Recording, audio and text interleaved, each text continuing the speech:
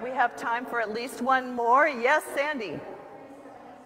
376 in which hymnal? Red hymnal. 376 in the red hymnal.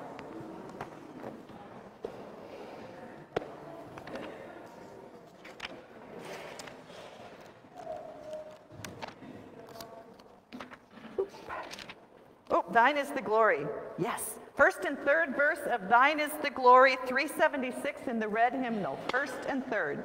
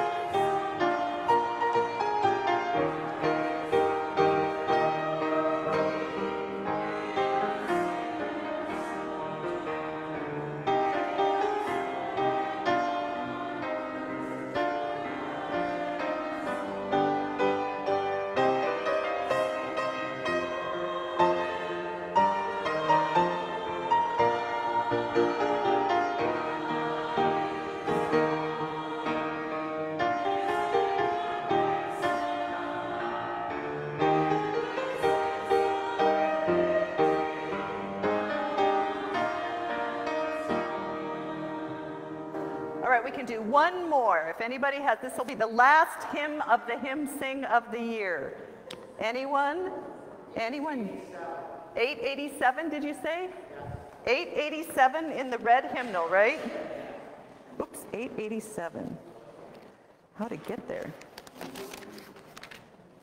Oh, this is my song. Oh, gosh. Okay, let's do, well, we're just going to have to do the first and third verse of 887. This is my song in the red hymnal.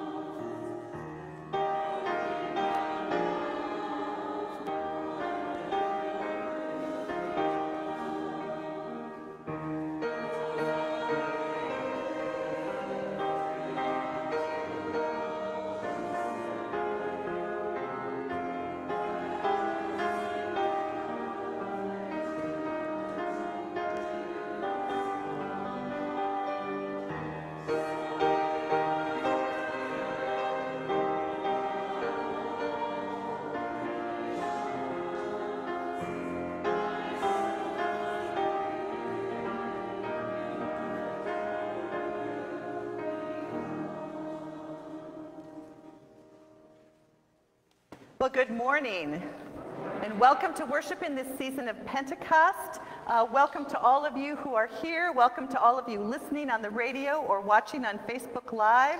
Welcome to any visitors that might be here. We're just so glad to have you with us, however you are able to join us on this very, very special day. when we celebrate Carrie's ministry and her next adventure, and we celebrate that we might get rain tomorrow. Um, maybe, but it's a really nice day. Um, so I have a lot of announcements. I'm going to try to get them through really quickly, but please read through the bulletin because there's a lot of good stuff in the bulletin. Also, the newsletter that went out um, a week ago. So make sure you catch up with everything that's going on because a lot is going on. Um, thanks uh, to Pastor Lane for taking over last week. I had my last uh, vacation Sunday of the year and I had a wonderful time. Um, so as I mentioned, there's lots coming up. Each of the next Sundays, there's um, something fantastic. So next Sunday um, is Rally Sunday. We'll get all our kids signed up for um, Sunday school. Also, the choir will be singing for the first time. That's always a fun thing. Confirmation orientation is this Wednesday. Um, so lots of things happening. Um, two things I want to account, uh, call to your attention. The first is we still are looking for a couple of confirmation mentors for our seventh graders, um, probably two of them. I don't know if any of you have ever been to senior recognition, but one of the things that our seniors always say is their best memory of Trinity is their confirmation mentor. So if you want to be that person for um, one of our young people, this is a great opportunity for you. Um, also, we are looking um, for a temporary leader for our Wednesday Bible School from 3.30 to 5 on Wednesdays. Um, we're just looking for somebody to be able to lead that, and it is a paying position, so please look in your bulletin for that. Um, like I mentioned, um, it's Carrie's last Sunday today, so there will be a special fellowship down in the basement. There's something for you to sign for her, lots of um, wonderful things, so please make it Make, try to make it down for that. If you look at your green insert, another thing that's coming up four weeks from today, Ooftafest weekend, um, on Sunday, we are going to have a very special um, celebration of Matt, um, Elmore Matson's musical ministry here. The choir is going to sing some special numbers, and what we would like is for all of you who have a special memory about Matt to write it down, and yes, I know Vivian's name is spelled wrong. We'll fix that in the future. Um, but write down your special memory of Matt, and then we'll have those up because Vivian's going to be here and Luther's going to be here. And we want to really um, remind them of the wonderful legacy that that family has left here in Spring Grove. Um, one thing that didn't get in the bulletin, uh, but hopefully all you council members know, is that council is at 7.30 on Wednesday. We just didn't get it on the calendar, but it's on the, um, the online calendar. We have a new missionary for a day, very exciting. Um, so we don't have the candle lit today, but going forward, our missionary for the day calendar is going, all the proceeds, if you um, give to that, are going to go to the ministry of Nola Nakarud, who is, I'm not sure who she's related to. Is she, to, to Helen. So she's a, a niece, a, a, sister, sister of Helen. And she has been doing wonderful uh, ministry. It was in the newsletter, um, this last newsletter. So anytime somebody gives to the missionary at the end of the year, all those proceeds will go to support that wonderful, wonderful ministry in Guatemala. Um, some of you might remember um, Lola Rosted. Um, she's now Lola Gillian. And her husband passed away, her husband Gregory passed away, and she wanted to let um, everybody know that there will be a service for him this coming Saturday, the 16th, from 11 to 3. The service portion will be at 2.30 at Four Seasons in Caledonia. So those of you who remember Lola Rusted um, Gillian, her husband is, um, has passed away, and there will be a celebration of life, and please keep um, them in prayers. And I think I got everything. Does anybody else have any other announcements? Ooh, I don't know about you, but I need to take a deep cleansing breath. So let's take a deep cleansing breath. Let's breathe in the Spirit of God. Let's breathe out all our cares and anxieties as we prepare to worship. God is with us.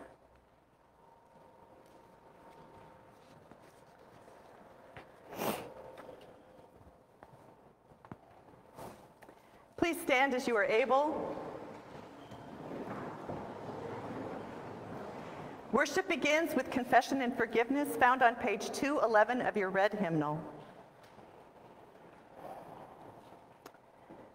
Blessed be the Holy Trinity, one God, who forgives all our sin, whose mercy endures forever.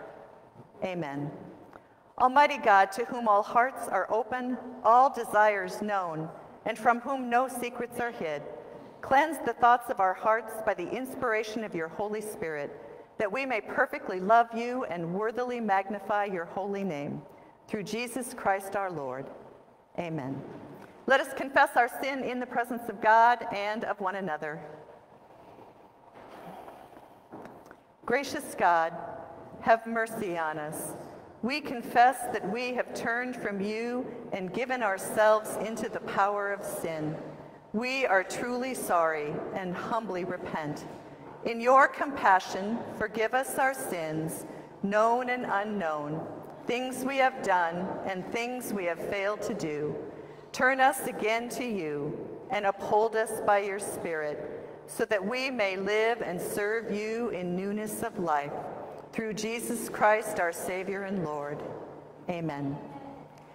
God, who is rich in mercy, loved us even when we were dead in sin and made us alive together with Christ. By grace, you have been saved. In the name of Jesus Christ, your sins are forgiven. Almighty God, strengthen you with power through the Holy Spirit that Christ may live in your hearts through faith. Amen. Our opening hymn is number 731, Earth and All Stars. Of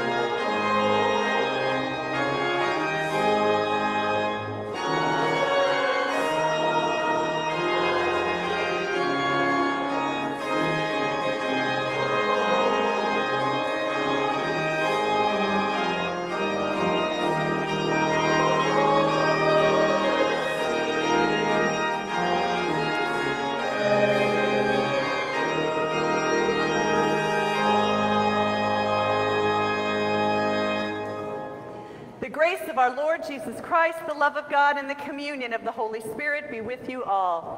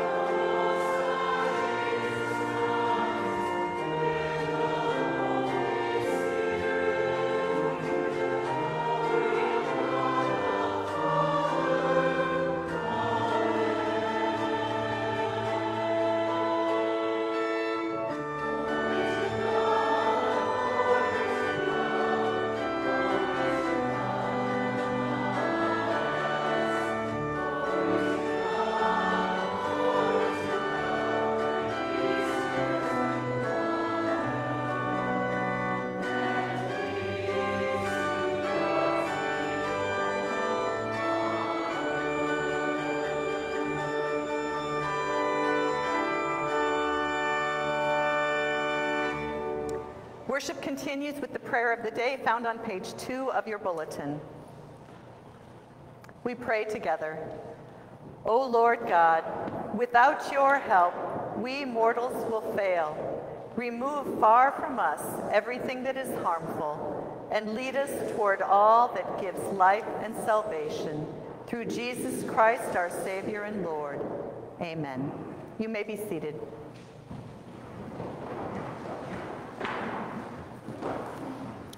The first reading for today is from the book of Ezekiel, chapter 33, verses 7 through 11.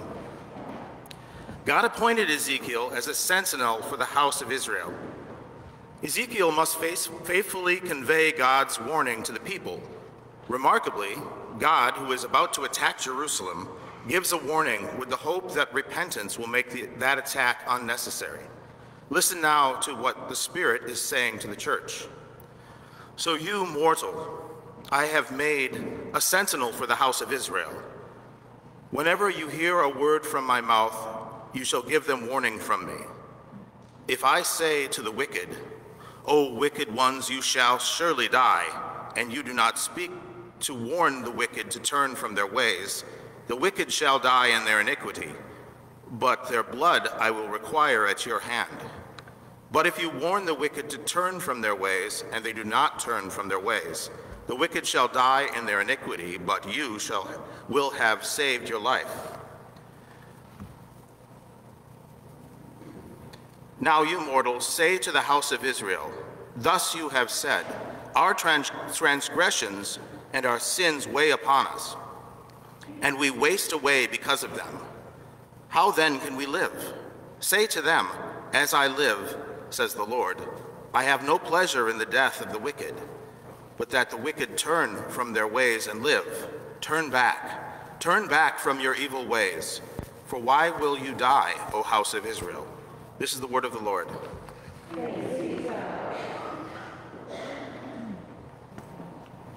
It says responsibly, but we are going to read all together Psalm 119, 33 through 40, as found in your bulletin. All together. Teach me, O Lord, the way of your statutes, and I will observe it to the end. Give me understanding that I may keep your law and observe it with my whole heart. Lead me in the path of your commandments, for I delight in it. Turn my heart to your decrees and not to selfish gain. Turn my eyes from looking at vanities. Give me life in your ways. Confirm to your servant your promise, which is for those who fear you.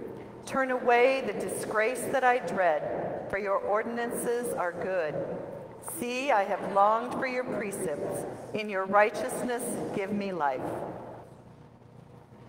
Today's second reading comes from Romans chapter 13, verses 8 through 14. The obligation of Christians is to love one another and so fulfill the heart and goal of the law. Clothes make the person, as we put on the Lord Jesus Christ and live today in light of the future God has in store for us. Listen now to what the Spirit is saying to the church. Owe no one anything except to love one another. For the one who loves another has fulfilled the law. The commandments you shall not commit adultery, you shall not murder, you shall not steal, you shall not covet, and any other commandment are summed up in this word love your neighbor as yourself. Love does no wrong to a neighbor. Therefore, love is the fulfilling of the law. Besides this, you know what time it is how it is now the moment for you to wake from sleep. For salvation is nearer to us now than when we became believers. The night is far gone, the day is near. Let us then lay aside the works of darkness and put on the armor of light. Let us live honorably as in the day, not in reveling and drunkenness, not in debauchery and licentiousness, not in quarreling and jealousy. Instead, put on the Lord Jesus Christ and make no provision for the flesh to gratify its desires. This is the word of the Lord.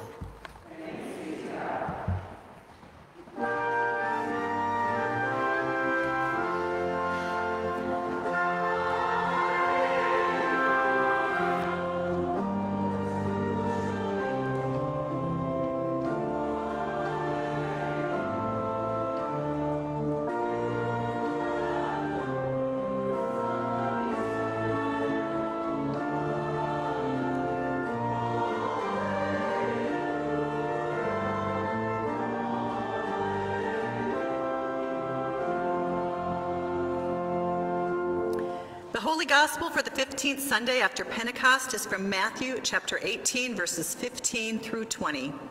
Glory to you, O Lord. Jesus offers practical advice to his disciples on how individuals and the church as a whole should go about restoring relationships when one member has sinned against another. Listen now to the good news the Spirit is bringing to the church. Jesus continues If another member of the church sins against you, go and point out the fault when the two of you are alone. If the member listens to you, you have regained that one. But if you are not listened to, take one or two others along with you, so that every word may be confirmed by the evidence of two or three witnesses. If the member refuses to listen to them, tell it to the church. And if the offender refuses to listen even to the church, let such a one be to you as a Gentile and a tax collector. Truly I tell you, whatever you bind on earth will be bound in heaven, and whatever you loose on earth will be loosed in heaven.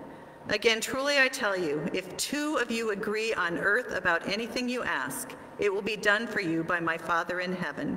For where two or three are gathered in my name, I am there among them. This is the gospel of the Lord. Praise to you, O Christ, and you may be seated.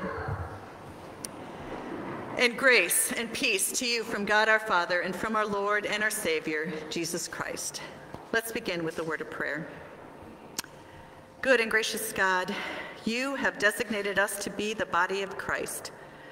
When we are in conflict, let us be reconciled, and let us love one another as you loved us, with heart and soul and strength and mind. In your name we pray. Amen. So I don't know about you, but when I grew up, I was um, very much a reader when I grew up. I'm still very much a reader. Um, and so a lot of times I learned how to, what a word meant before I learned how to pronounce it. Or, or I even learned, you know, if it might be not really a word, it might be just some word that the author put in there. So a couple of years ago, my nieces and I were having a conversation about something, I don't remember what it was, and one of them um, said, well, are we in agreement on this? And all of us looked at her and were like, agreeance? Is that, did you mean to say that? Was that, and we were laughing at her. Agreeance? We don't think agreeance is a word, Sarah. But since then, of course, in our family, we use the word agreeance all the time because we are ones to, you know, hit where um, a bruise has already been uh, formed. But then it turns out I looked it up, and agreeance is a word, actually. Um, it's a very arcane word. It's not used very often, but agreeance is actually a word that means mostly the same thing as agreement, but it's more like the concept of agreement. So you may not have gotten completely in agreement yet, but you're looking for agreement. You're looking, you're in agreement. is sort of the step before agreement. Now, why do I bring that up? Because Matthew's gospel today is all about resolving conflict. And these parts of Matthew's gospel we call the teachings. This is actually in Matthew's gospel in chapter 18 here. This is the second set of teachings. And this is what Jesus, when Jesus is talking to the disciples and others of his followers about life together in the church. And actually, this is one of the few places where the word ecclesia in the Greek is used um, by Jesus. The word church is used twice in this time, and Jesus doesn't use that word very often. In fact, it's not used that often until we get to Paul's letters. So, um, what we know about then, eh, because Jesus is telling this story, is that even 2,000 years ago, when we just thought everything was pretty good up until Holy Week and the crucifixion, that within the church, within Jesus' followers, there were already disagreements. And certainly by the time Matthew wrote the Gospel of Matthew, 40 years later or so, there were definite disagreements within the church. And so Jesus is kind of giving a little warning, a forewarning about what to do in case of conflict, in case of disagreements. My dad used to tell this story, and I have probably told this story either here or in some other context many times, but it's one of my favorite stories, and it's very poignant, about um, a sailor who is stranded on a desert island, and he's stranded there for years, let's say 20 years. And then 20 years later, a ship goes by, and they see the smoke, and they go over to the island, and here's this fellow who's been stranded there for 20 years, and he's, he's made a life for himself on this island. He's built a hut, and he's actually he takes them around and he shows them um, all of the things that he's done, the paths that he's made, the garden that he's built. And they get to this building and they said, Well, what is this? And he said, Well, that's the church I built for myself. And it looks like a church. And then they look across the street and they, Well, what about that one? And he said, Well, that's the other church I built, but I wouldn't be caught dead in that one. yes. So that's why I, I love that story because it, it's kind of tells us about what happens when there's conflict, because sometimes we're conflicted even within ourselves. And what do we do then? So there are several problems um, in today's in today's gospel reading. The first is that Jesus calls on us to resolve our conflicts. And interestingly, this text, chapter 18 of Matthew, this particular part of the text, is in our ELCA Lutheran Con uh, Constitution. This is what um, those in the synods and the church-wide office would use if there was ever a conflict within one of the church bodies. And we know that has happened millennia. You know, it wasn't just the Reformation. There have been conflicts within the church ever since. So, what Jesus does is he calls us to be the body of Christ. And Paul reemphasizes that, you know, over and over. And what we know about being the body of Christ is that you need all the parts, right? I mean, an eye can't do what a hand does, and a foot can't do what an ear does, and so on and so on. And so when we look at this text, we, you know, we can see all those that logically, right? That Jesus calls on us. We should do what Jesus says and that it's part of our Lutheran constitution and we need to be together. Because frankly, a lot of people leave churches out of conflict. But here's what I can tell you based on that island story is that if you keep leaving a church because of a conflict, eventually you're going to run out of churches because there's always going to be some sort of conflict, something that you disagree with.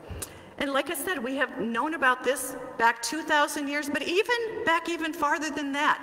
The message from Ezekiel today was basically a massive intervention in the house of Israel, in the country of Israel. God was angry at God's own people, calling them to turn back and not just turn back, but if you have already turned back, help others to turn back. Bring them back because God wants every single member of the body of Christ, of God's family, to be part of, of, the, of his own family. So, God, this goes, like I said, this goes way back to is, uh, Ezekiel. But the tricky thing about this text is that we can get a little judgy sometimes. You know, let's say there is a conflict and you bring it to that person in some, uh, you know, in some way, you bring it up. Well, how are you to bring that up in a way that's not judgy? How do you put out an error without pointing out an error? Because, you know, that, is, that like I said, who are, who are we to judge? In Paul's um, letter to Rome, he talks about how we are obligated to love. We are to love our neighbor as ourselves. We are to put on the armor of light, to put on Christ. If only, if only it was that easy, right? Because all have sinned and all fall short of the glory of God, as we know. We pray in Psalm 19, the one we just read aloud. Now, if we were able to pray that every morning, that would help a little bit, right? So as um, the, you know, we, we looked at what we read, teach me, O Lord, give me understanding, lead me in the path, turn my heart, turn my eyes, confirm your servant. Imagine praying Psalm 119, 33 through 40 every single day. That would be a pretty powerful thing, a pretty powerful way to start the day. And yet, we know that still all have sinned and all fall short of the glory of God. We say in the Lord's Prayer, which we will pray in just a few minutes, forgive us as we forgive others. But it's still really, really hard. So let's expand the gospel a little bit. Let's go back to the beginning of Psalm 118, or excuse me, of Matthew uh, 18, and see if it's a little easier. If God and Jesus gives us a little more guidance on how we might judge, but not judge, bring out the error, but not bring out the error. And so, what Jesus tells us in the first part of uh, Matthew 18's gospel is be humble like a child. Be like a little one. Don't presume. Be humble. Second, don't be a stumbling block to others. If you are doing something that somebody else is finds tempting and they're not able to withstand it, don't be a stumbling block to others. The next part is probably the most significant part. Right before Jesus goes into this conflict resolution portion, he tells the parable of the, of the hundred sheep. 99 sheep have made it back to the pasture, and just one hasn't made it back. But the shepherd goes out and searches and searches through wind and snow and rain and whatever else is out there to bring that one sheep back. And then Jesus goes into the conflict resolution. So, right now, we know that Jesus wants every single sheep back in the fold, and that we are the ones who are called on to bring those sheep back into the fold. So basically what we have here are instructions for reconciliation, and reconciliation is so powerful, it is so important to God. It is the, the first um, and, and oh, let me just say too, it can be really hard to confront someone. Nobody likes to confront anyone, especially um, those of us who might have a little passive aggressive tendencies in us. You know, we might want to like talk to somebody else. Should I go talk to them? I don't know. Do you, what do you think? This is what they did. What do you think? Where it's actually best to be direct it's hard. It's, I don't find it easy either to, to confront someone, but confront is probably a strong word. Just go directly to that person. So, what does Jesus say? First, do it privately. If that doesn't work, take a couple people along with you. People who might be sympathetic to you, but people who might be sympathetic to that other person as well. Make sure that you are a family in this. If that still doesn't work, bring it to the congregation. The congregation will try to support that, that sheep and get them back in the fold. But if all else fails, you might need to set up some boundaries. There are sins committed in, this, in our lives that are beyond the pale. And that does not mean that God has discounted that person from life, but it does mean sometimes that we have to set up boundaries, that that person can't be part of this family and might need a special family. When we look at this text, probably the most powerful thing and the most the one that we remember most is verse 20. Remember, where two or three are gathered in my name, I am there. It's a promise. It's such a big promise. And imagine if wherever we were in conflict with someone, we set a little chair aside and Jesus was there we imagined that Jesus was actually there. And we look at these texts to help us get through it. This would be pretty powerful. If we're in meetings, if we're in arguments, if we're in some sort of online forum that has got it out of, land, out of hand, imagine that Jesus is right there with us. Now, next week, Jesus continues this, continues this ministry. And this is not going to be an easy one either because it's all about forgiveness. And forgiveness can be really hard. But we are called to forgive because sometimes we are the ones that need to be forgiven. The promise is true. John 3:16 For God so loved the world that he gave his only son that whoever believed in him would not perish but have eternal life. But remember that God came into the world not to condemn the world, but that the world might be saved through him. Let us pray. Good and gracious God, bind us together as one body of Christ that we might be whole to do your work for the neighbor. In your name we pray. Amen. Our next hymn is number 716, Lord of all nations, grant me grace.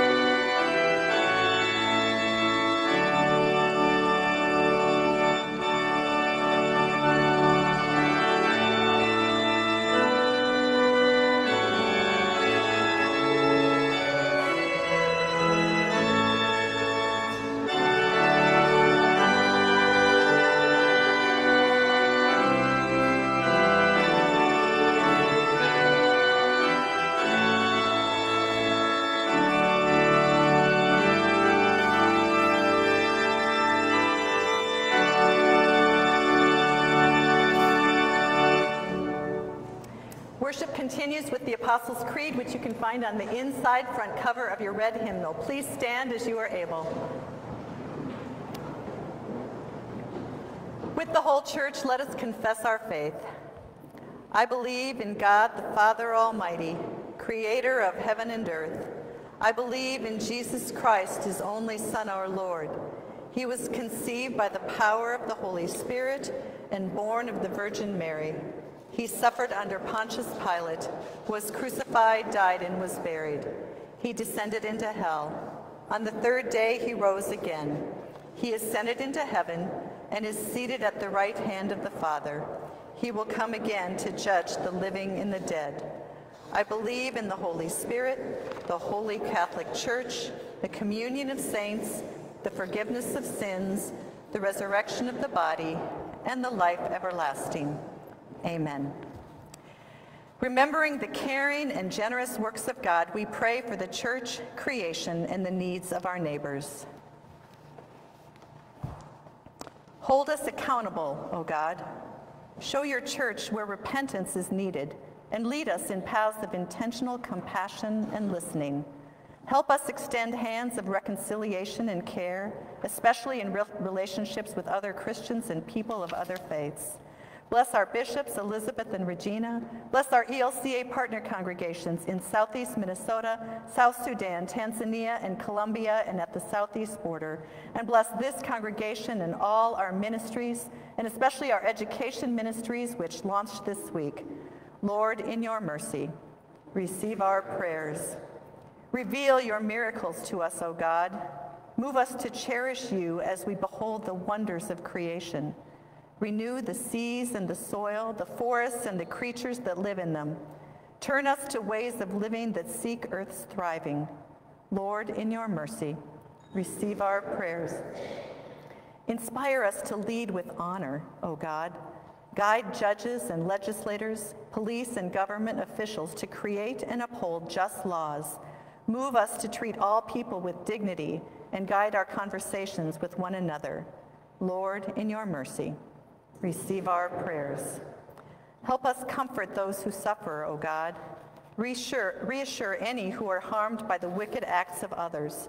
Bring peace to all who are vulnerable, frightened, despairing, or sick. Guard their waking and their sleeping. And especially today, Lord, we ask for your mercy for those in our community, our congregation, and our families who are suffering in any way.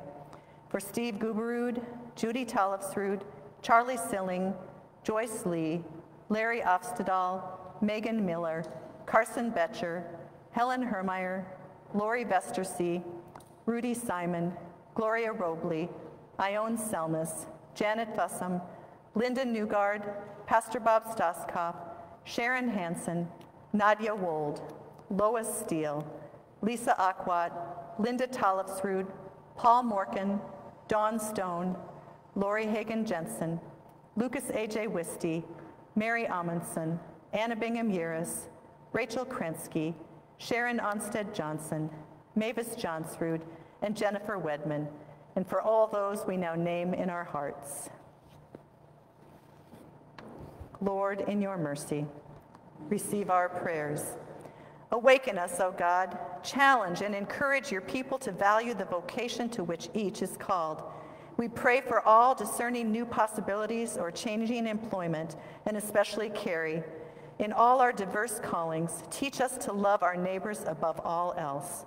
Lord, in your mercy, receive our prayers. Remember us according to your steadfast love, oh, excuse me.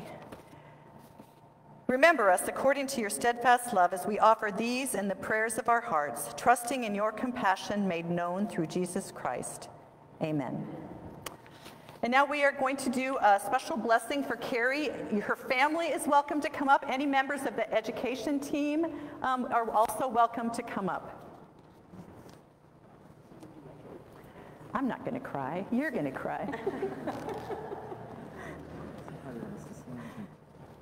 Stand over here.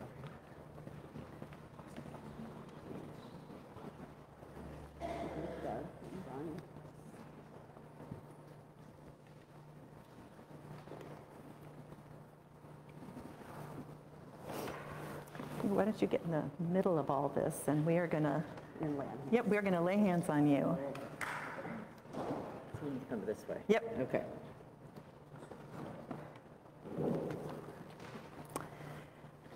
I swear I'm not going to cry. Carrie, as you leave our congregation, we wish to bid you farewell. Farewell.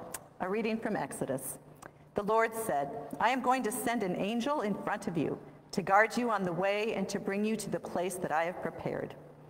Carrie has given generously of her gifts in music, teaching, and youth ministry. You were tremendously gifted when you arrived here, and we have seen those gifts grow and flourish. This congregation and this community have benefited greatly from your gifts, and we have loved you as part of the Trinity family, and we will miss you. But we wish you continued joy and success as you move to your new adventure, and we offer our blessings to you as you begin a new life with your fiance Nathan. When you came home to this congregation, we rejoiced to welcome you into the mission we share as the people of God. In this community, you have come to know and to share in God's loving purpose for you and for all creation. God has blessed you in this community, and God has blessed us through you. We encourage you to continue to receive and share God's gifts, united with us in the body of Christ and the mission we share. Let us pray. Gracious God, we thank you for the work and witness of your servant Carrie, who has enriched this congregation and shared her gifts with her colleagues and friends. Now bless and preserve her at this time of transition. Day by day, guide her and give her what is needed friends to cheer their way and a clear vision of that of which you are now calling her. By your Holy Spirit, be present in her pilgrimage that she may travel with the one who is the way, the truth, and the life, through Jesus Christ our Lord. Amen. Amen.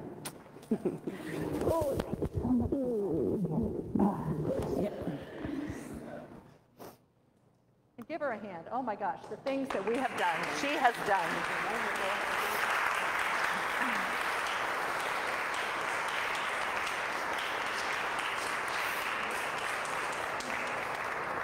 And remember, there's more celebration to happen downstairs. There's cupcakes and cakes and a special uh, thing to, for everybody to sign so that she never forgets us. and now, uh, may the peace of Christ be with you always. Let us share that peace with one another.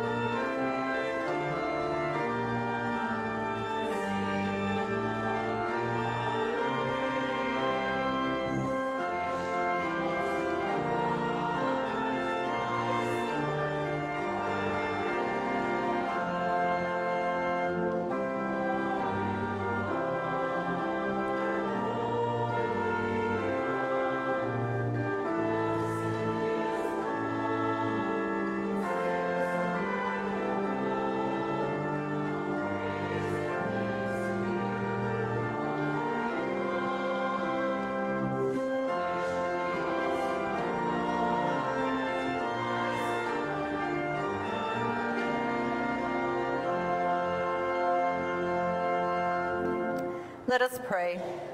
O God of justice and love, we give thanks to you that you illumine our way through life with the words of your Son.